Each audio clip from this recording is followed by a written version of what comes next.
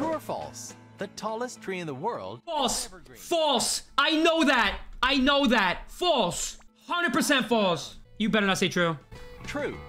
Sorry. That's that. Wait. Nah.